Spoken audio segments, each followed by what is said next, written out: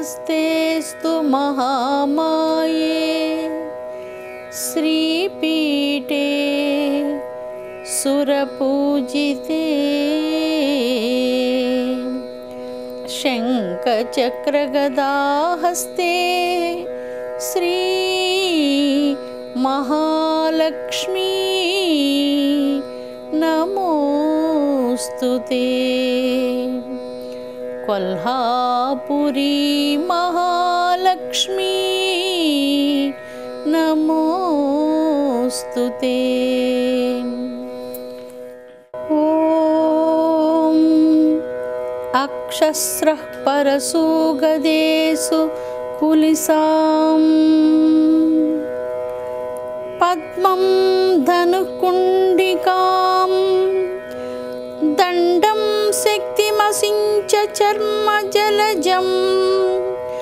घण्टां सुराभाजनम् शूलं पास सुदर्शने च ददतीं हस्तैः प्रवाळप्रभां सेवे सैरिभमर्दिनीं मिह महालक्ष्मीं। सेवे सैरिभमर्दिनीं। मिह महालक्ष्मीं। सरोजस्थितां सेवे सैरिभमर्दिनीं। मिह महालक्ष्मीं। सरोजस्थिताम् అమృతాత్మ స్వరూపులైన మీ అందరికీ మీ తల్లి అవ్యాజ్యమైనటువంటి మాతృప్రేమనందిస్తూ శ్రీ చండీ సప్తసతి దివ్య పాఠంలో రెండు మూడు నాలుగు అధ్యాయాలు అపూర్వమైనటువంటివి. దీన్ని మధ్యమ చరిత్రము అంటారు. ఈ మధ్యమ చరిత్రాన్ని ఒక్కొక్క శ్లోకం చాలా అద్భుతమైనటువంటిది. ఈ మంత్రాలను ఒక దివ్య ఋషి దర్శించాడు. ఆ మంత్ర దర్శనం చేసినటువంటి వారిని మంత్రద్రష్ట అంటారు.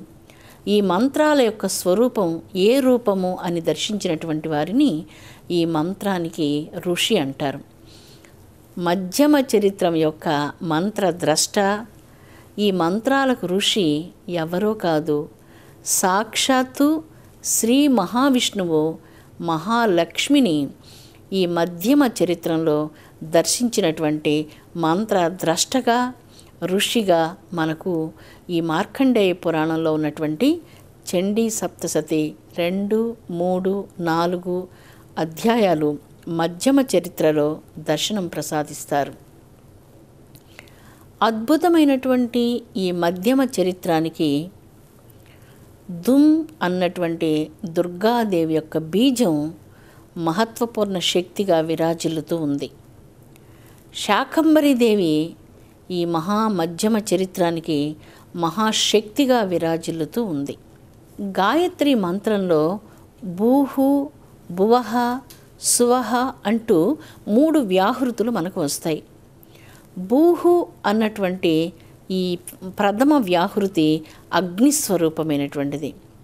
భువహ అన్నటువంటి రెండవ వ్యాహృతి వాయుస్వరూపమైనటువంటిది సువహ అన్నటువంటి మూడవ వ్యాహృతి సూర్య స్వరూపమైనటువంటిది. ఈ మూడు అగ్ని వాయువు సూర్య ఈ తత్వాలకు సంబంధించి ఉన్నాయి. ప్రతిదానికి ఒక తత్వం ఉంటుంది. సంస్కృత భాషలో ప్రతి పదానికి ఒక ధాతు ఉంటుంది. అలాగే ఈ భూహు భువహ సువహ అన్నటువంటి వీనికి ప్రధానమైనటువంటి తత్వాలను గురించి ఈ మధ్యమ చరిత్రంలో మాట్లాడుతూ ఉన్నారు. ఈ మధ్యమ చరిత్రం వాయుతత్వానికి సంబంధించినటువంటిది మహత్వపూర్ణమైనటువంటి శక్తిని కలిగింది. యజుర్వేదం వేదాలలో అపురూపమైనటువంటిది.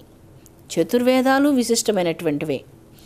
యజుర్వేదానికి ఆత్మ వంటిది ఈ మధ్యమ చరిత్రం అని చెప్పబడుతుంది. అంత శక్తి సమన్వితమైనటువంటిది సాక్షాత్తు మహాలక్ష్మి రూపము. ప్రాణవాయువు లేకపోతే ఎలాగా జీవితం లేదో త్వయా వినా జగత్సర్వం భస్మీభూతమసారకం. మహాలక్ష్మి యొక్క తేజస్సు లేకపోతే మానవ జీవితం అపసవ్యమైపోతుంది. ఆరోగ్యం సౌభాగ్యం శాంతి సంతానం విద్య వివేకం వీరత్వం ధనం ధాన్యం శాంతి ఇవన్నీ లక్ష్మీ రూపాలు. విద్యను ప్రసాదించేటప్పుడు మహాలక్ష్మి విద్యాలక్ష్మిగా సరస్వతిగా విరాజిల్లుతుంది. శాంతిని గృహంలో ప్రసాదించేటప్పుడు శాంతిలక్ష్మిగా మానవ జీవితానికి ఆరోగ్యాన్ని అనుగ్రహించేటప్పుడు ఆరోగ్యలక్ష్మిగా శుభాలను సౌభాగ్యాలను అన్ని రకాలైనటువంటి పుష్టులను ప్రసాదించేటప్పుడు సౌభాగ్యలక్ష్మిగా ధనం ప్రసాదించేటప్పుడు ధనలక్ష్మిగా శౌర్యము వీర్యము ధనము శక్తి వీటన్నిటినీ ప్రసాదించేటప్పుడు వీరలక్ష్మిగా రాజ్యలక్ష్మిగా ఐశ్వర్యలక్ష్మిగా ఇన్ని రూపాలతో విరాజిల్లుతుంది. అలాగే ధన ధాన్యాదులను పంటలు పండ్లు ఇటువంటి వాటన్నిటిని అనుగ్రహించేటప్పుడు ధాన్యలక్ష్మిగా రైతులను అనుగ్రహిస్తూ వారి గృహాలలో వసిస్తూ ఉంది. రాజ్యలక్ష్మిగా రాజుల గృహాలలో వసిస్తూ ఉంది. పద్మాలలో గుర్రాలలో ఏనుగులు పుణ్యస్త్రీలు రాజులు రత్నాలు ముత్యాలు పగడాలు ధనము సమస్తమైనటువంటి పచ్చదనము ఇవన్నీ లక్ష్మీ స్వరూపాలు. శాంతి లక్ష్మీ స్వరూపం. ఇవన్నీ లక్ష్మీ స్వరూపాలు. అందుకే మధ్యమ చరిత్రం అపూర్వమైనటువంటిది. అన్నింటినీ ప్రసాదించేటువంటి మహాలక్ష్మిగా ఈ మధ్యమ చరిత్రాన్ని ధ్యానించినటువంటి మంత్రద్రష్ట సాక్షాత్ శ్రీ మహావిష్ణువు. ఆ మహావిష్ణువే ఈ మధ్యమ చరిత్రానికి ఋషిగా విరాజిల్లుతూ ఉన్నారు. అందుకని భారతీయ ఆధ్యాత్మిక ధర్మ సాగరంలో అనేక అమూల్యమైనటువంటి దివ్య రత్నాలు ఎన్నో ఉన్నాయి.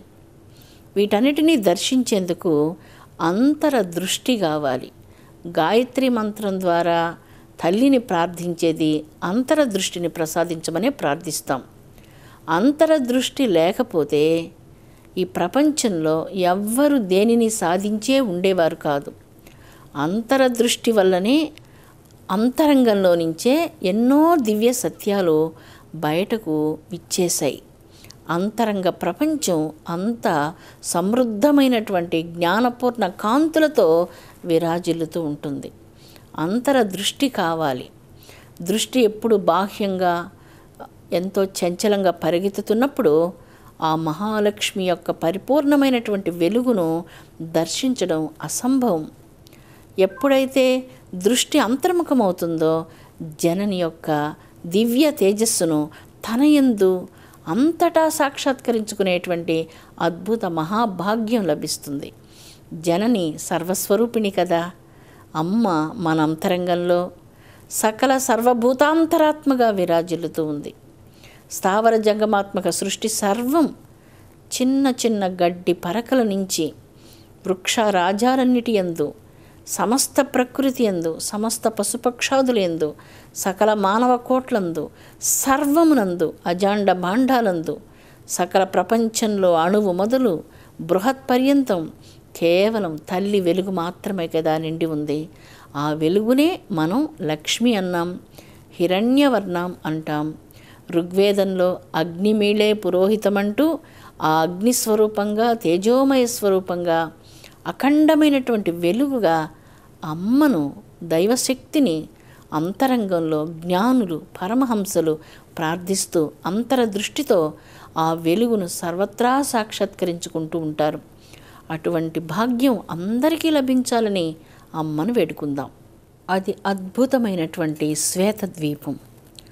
ఆ దివ్య శ్వేతద్వీపంలో బ్రహ్మదేవుడు జగదంబ లోకాల కోట్లను పరిపాలించే జగన్మాతను గురించి గాఢమైనటువంటి తపస్సును లక్షలాది సంవత్సరాలు ఆచరించాడు. ఆ తపస్సుకు మెచ్చి జగన్మాత అపూర్వమైనటువంటి దర్శనాన్ని బ్రహ్మదేవునికి ప్రసాదించింది. జగదంబ యొక్క దివ్య దర్శనంతో పులకించిపోయాడు బ్రహ్మదేవుడు. అమ్మను అనుగ్రహించమని వేడుకున్నాడు. సృష్టి కార్యం యొక్క బాధ్యతను బ్రహ్మకు జగదంబ ప్రసాదించింది. అప్పటి నుంచి బ్రహ్మ సృష్టికర్త అయ్యాడు బ్రహ్మదేవుడు తన మనసు నుంచి సప్తర్షులను ఉద్భవింపచేశాడు. ఆ బ్రహ్మదేవుడు తన రోషం నుంచి రుద్రుని ఉద్భవింపజేశాడు. బ్రహ్మ తన తొడ నుంచి నారదుని కుడి బొటన వేలు నుంచి దక్షుని ఎడమ బొటన వేలు నుంచి వీరిని అన్నటువంటి స్త్రీని సృష్టించాడు. ఇలాగా ఆయన సృష్టి కార్యం చేస్తున్నప్పుడు దక్షుడు వీరిని వివాహం చేసుకున్నాడు. దక్షునికి వీరినికి పన్నెండు మంది పుత్రికలు కలిగారు. అందులో ధనువు అన్నటువంటి ఒక పుత్రికను కశ్యపుడు వివాహం చేసుకున్నాడు. ఆ కశ్యపునికి ధనువుకు జన్మించినటువంటి వారు రంభుడు కరంభుడు అన్నటువంటి ఇద్దరు దానవులు. ధనువు యొక్క పుత్రులు దానవులు. రంభుడు కరంభుడు ఘోరంగా తపస్సు చేసేందుకోసం బయలుదేరారు. వారు సంతానం కోసం తపస్సు చేస్తున్నారు. వారిద్దరి తపస్సు అసమానమైనటువంటి తపస్సు. వీరిద్దరూ పంచాగ్నుల మధ్యలో కూర్చొని కొంతకాలం తపస్సు చేశారు. పంచాగ్నులు అంటే తూర్పున అగ్ని దక్షిణంలో అగ్ని పడమర అగ్ని ఉత్తరంలో అగ్ని పైన ఐదవ అగ్ని సూర్యుడు. వేసవి కాలంలో విపరీతమైనటువంటి వేడితో ఉన్నటువంటి ఆ సమయంలో ఆ ఐదవ అగ్నిగా సూర్యుని ఉంచుకొని ఈ పంచాగ్నుల మధ్యలో తపస్సు చేశారు. కరంబుడు కంఠంలోతు నీళ్ళలో నిలిచి ఘోరంగా తపస్సు చేస్తున్నప్పుడు దేవేంద్రుడు తన పదవికి ఏమైనా ప్రమాదం కలుగుతుందని భయపడి కరంబుని ముసలి రూపంలో వచ్చి సంహారం చేశాడు. రంభుడు తన సోదరుడైనటువంటి కరంబుడు మరణించడంతో అగ్నిదేవుని ఉపాసించడం ప్రారంభించాడు. తనకు అత్యంత తేజస్సు బల సంపన్నతను కలిగినటువంటి ఒక పుత్రుని ప్రసాదించమని అజేయమైనటువంటి బలం కలిగినటువంటి వాడిగా దేవతలందరినీ జయించేటువంటి శక్తిశాలిగా ఉండే విధంగా అనుగ్రహించమని తపస్సు చేశాడు. ఆ తపస్సులో తన శిరస్సునే ఆహుతిగా సమర్పించబోయాడు రంభుడు. అగ్నిదేవుడు ప్రసన్నుడై రంభుని యొక్క తపస్సుకు మెచ్చి అతనికి అద్భుతమైనటువంటి వరాన్ని ప్రసాదించాడు. రంభుడు అలా వెళుతూ మహిష్మతి అన్నటువంటి ఒక గంధర్వ కాంత శాపవశంలో ఒక సరోవర తీరంలో ఒక గేదె రూపంలో మేస్తూ ఉంది. ఆవిడను చూసి రంభుడు వివాహం చేసుకున్నాడు. రంభునికి మహిష్మతికి కలిగినటువంటి పుత్రుడే మహిషాసురుడు. ఆ మహిషాసురుడు మహాశక్తి సమన్వితుడు అద్భుతమైనటువంటి తేజోబల సంపన్నుడు అగ్ని తేజస్సు అతని ఎందు పనిచేస్తూ ఉంది.